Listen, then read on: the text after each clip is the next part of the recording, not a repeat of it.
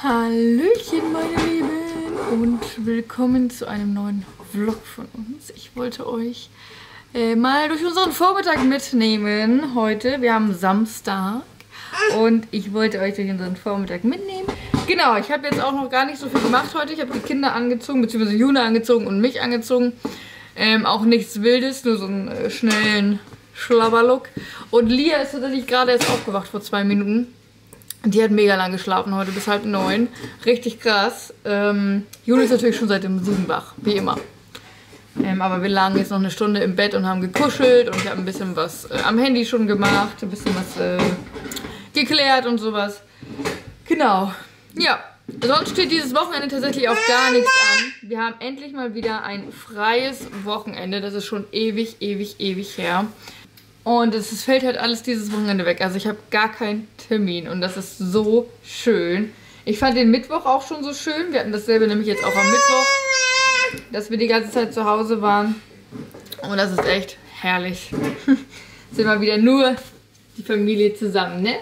Nur wir zusammen. So, ich wollte jetzt gerade was für Lia zum Anziehen holen. Und ihr seht, glaube ich, an der Qualität, dass wir mega schlechtes Wetter haben. es ist nämlich überall mega dunkel. Ähm, genau, hier wollte ich euch einmal zeigen, ich habe gestern von einer Followerin, ähm, die hat mir bei Instagram geschrieben, dass sie so viele Stoffwindeln noch übrig hat. Und die habe ich ihr dann abgekauft. Und das ist zufälligerweise genau unsere Lieblingsmarke, nämlich Windel Zauberland. Und da habe ich mich sehr gefreut, dass die gestern angekommen sind. Genau, die wollte ich jetzt auch noch gleich wegräumen, sind ja frisch gewaschen, kann ich also direkt wegräumen. Auch ganz viele Mulltücher und Einlagen noch dazu, also echt mega, mega cool. Und ich habe da auch total das Stäbchen gemacht, bin mega, mega dankbar. Also ist echt äh, total toll, sind auch richtig süße Designs bei. Ich zeige euch das mal oben, da ist glaube ich besseres Licht. Oh, schon viel, viel besser das Licht hier oben. Genau, also einmal hier ähm, diese Beeren, die haben wir auch schon einmal äh, in einem anderen Modell. Die Wüsli haben wir nämlich, jetzt auch nochmal die Beza hier. Dann war hier noch eine ähm, Bambino Mio dabei. Die ist auch toll. Das sind so All-in-One-Windeln. Sitzen eigentlich auch immer richtig toll am Kind. Also ich mag die auch sehr und das Design ist auch richtig süß. Ich bin äh, gerade total der Gänsen-Fan. Dann die Elefanten, die haben wir auch schon einem anderen, die, äh, anderen äh, Modell. Die haben wir auch als anderes Modell. Die liebe ich auch total. Die haben wir hier auch als Waschlappen. Die sind nämlich so süß hier. Richtig goldig. Dann die Schweinchen, das ist auch mein absolutes Lieblingsdesign im Moment. Die haben wir auch schon als anderes Modell. Ja, hier liegen sie sogar gerade. Die hatte Juna gestern an. Genau, das ist die Weasley. Die, die ist, hat einfach einen anderen Schnitt. Aber das gleiche Design. Die Füchse haben wir auch als Weasley. Die hier haben wir tatsächlich nicht. Aber die hatten wir bei Lia schon. Und das Design ist auch mega süß. Das kenne ich auch noch gar nicht. Das ist ein Panda-Bären drauf. Und die hier haben wir auch als Whistly. Die ist auch mega mit den ähm, Walen. Die liebe ich auch total. Ich bin ja total so ein Walmensch. Genau, und hier sind noch die Robben.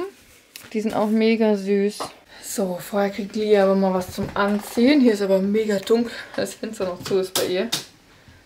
Ähm, genau, ich muss jetzt mal was zum Anziehen raus, um irgendwas Bequemes für das Wochenende. genau. So, was haben wir denn hier bequemes? Jetzt habe ich hier gerade beim Aufräumen noch diese ganz kleinen neugeborenen Windeln gefunden. Oh mein Gott, ist das klein.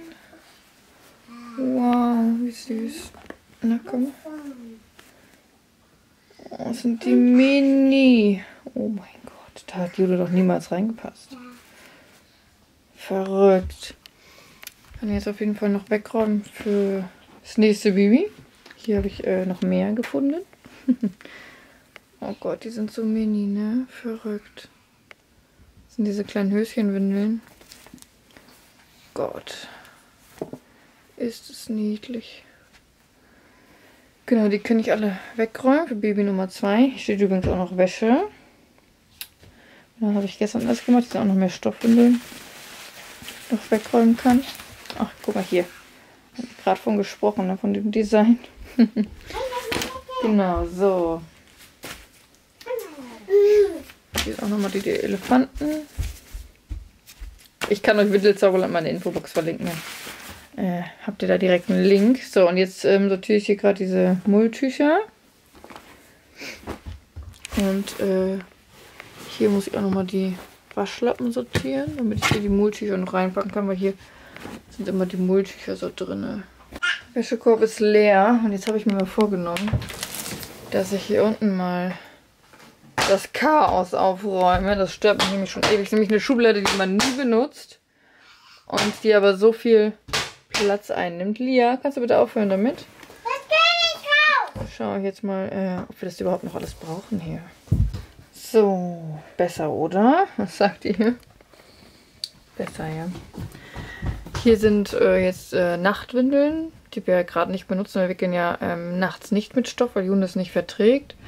Noch mehr Nachtwindeln. Ähm, diese Moltontücher, Spucktücher, Vorräte, die wir eigentlich auch nie brauchen. Alles Sachen, die wir nie benutzen irgendwie. Und äh, Spucktücher und Pucktücher. Ich habe auf jeden Fall eine Spucktuch- und Pucktuchsucht, wie ihr seht. Also hier oben sind die Pucktücher, da auch noch Pucktücher. Ähm, und ganz viele Spucktücher. Ein paar habe ich aussortiert zu meiner Verteidigung.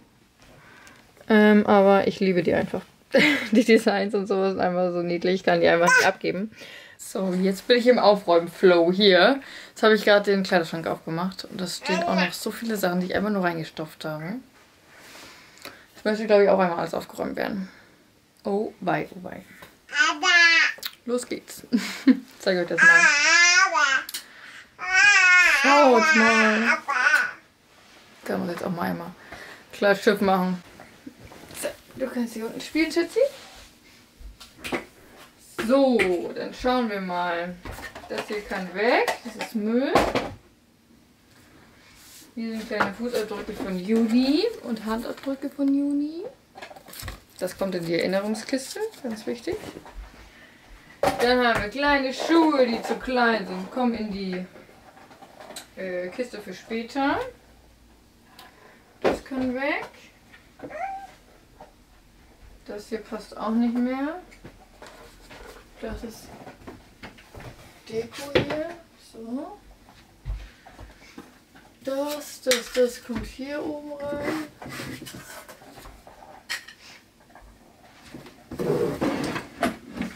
So.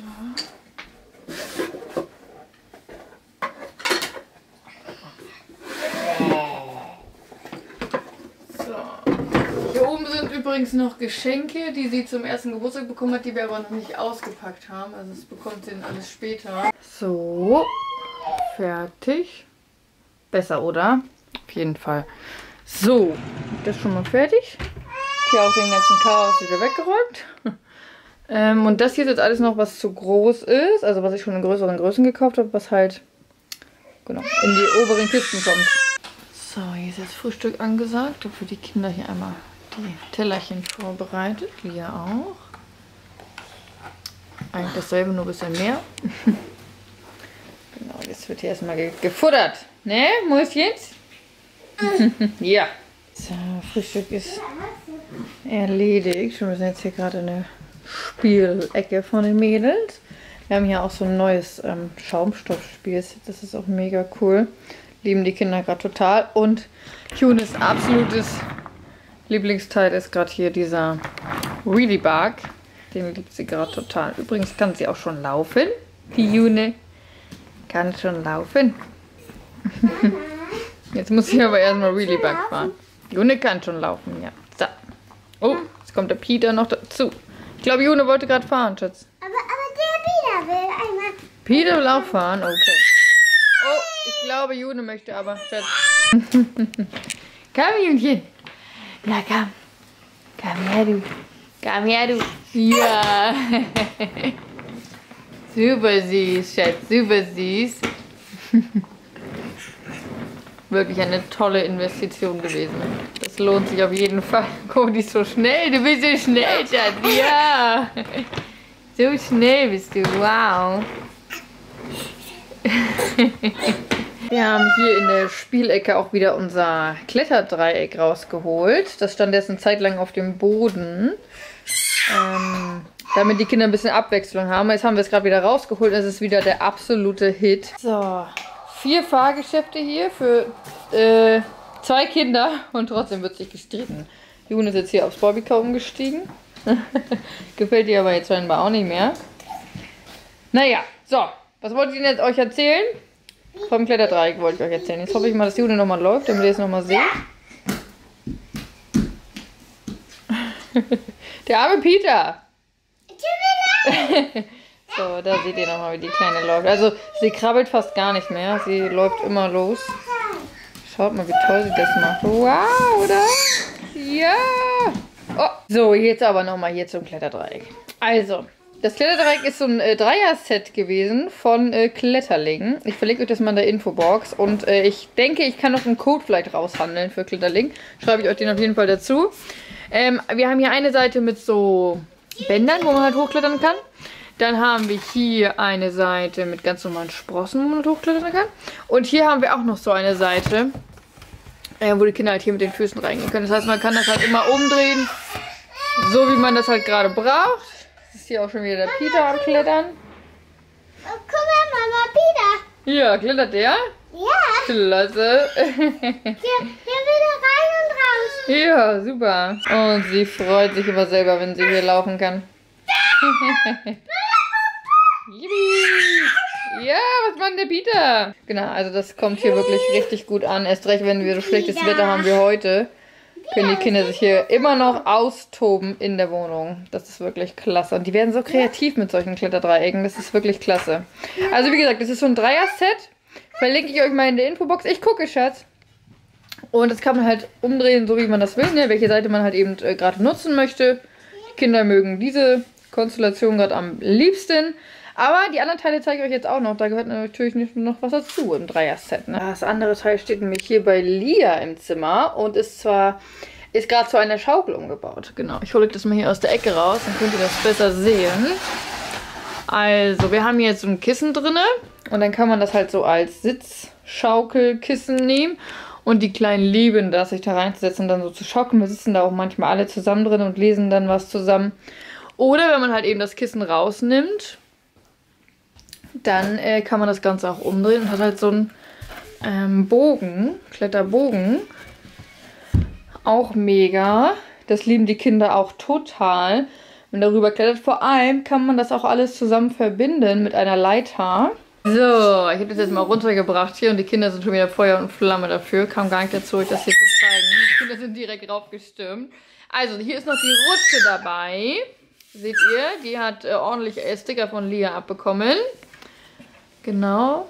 Und die kann man auch umdrehen dann als Leiter. Und jetzt werden wir das Ganze mal verbinden. Dann zeige ich euch mal, wie das aussieht. So sieht das Ganze dann aus, wenn man das verbunden hat. Also man hat so ein richtig cooles Dreier-Set hier. Und die Kinder können halt richtig toll spielen, da jetzt so rüberklettern. Man kann halt so viele Sachen damit bauen. Ne? Also du kannst hier den Bogen auch noch äh, von der anderen Seite machen. Äh, die Leiter kannst du nochmal umdrehen. Jetzt sind da halt diese Sprossen dran. Zeige ich euch gleich noch, wenn die Kinder mal runtergehen. Und wie gesagt, das kann man ja auch total noch umändern. Du kannst auch die Höhe von der Leiter noch individuell einstellen. Ich habe jetzt hier mal die Leiter gemacht. So, seht ihr das? Also das ist die andere Seite von der Rutsche. Und so seht ihr halt auch, dass ihr das wirklich in jeder Höhe ranmachen könnt. Also genau wie ihr wollt. Ihr seid da wirklich total flexibel und wir lieben das. Und die Kinder lieben das auch, wie ihr seht. Und natürlich könnt ihr jetzt auch die Rutsche einfach hier oben ranmachen. Ja, nimm das, hebt, das, hebt den Bogen mal weg. Genau, klasse. Schaut mal so. Und dann habt ihr hier eine Rutsche komplett, wo die Kinder halt hier rüber klettern können und dann rutschen können. So, meine Lieben, und jetzt wollte ich mich auch nur noch ganz schnell verabschieden. Ich wollte den Vlog direkt für euch schneiden. Ich hoffe, dieser kleine Einblick hat euch so ein bisschen gefallen. War so ein bisschen durchgewurschtelt, habe ich gemerkt. Aber vielleicht interessiert es euch auch trotzdem.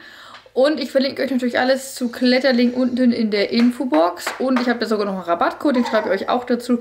Dann könnt ihr natürlich auch wieder bei Kletterling sparen. Genau, und jetzt hoffentlich sehen wir uns beim nächsten Vlog wieder oder auf Instagram, ganz wie ihr mögt. Bis dahin, tschüssi, habt's fein.